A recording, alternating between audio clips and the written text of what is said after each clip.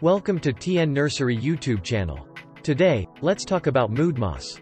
Mood moss is also known as Dicranum scoparium, and belongs to the crane species. Most of the northern hemisphere and Oceania are home to this species. This type grows in tufts or mats on the ground in moist to dry wooded regions. It is identified by its leaves, pronounced curved to one side. The leaves of these mosses are bent to one side and have a highly distinctive shape.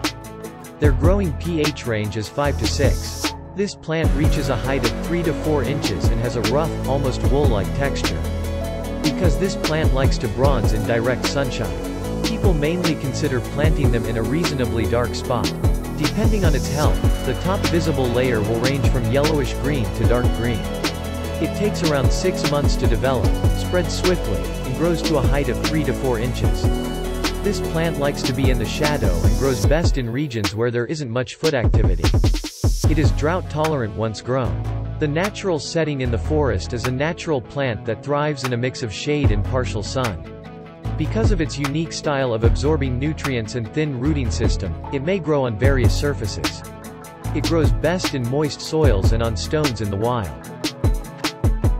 Mood moss is for sale at Tennessee Wholesale Nursery, with low prices and fast shipping. Thanks for watching.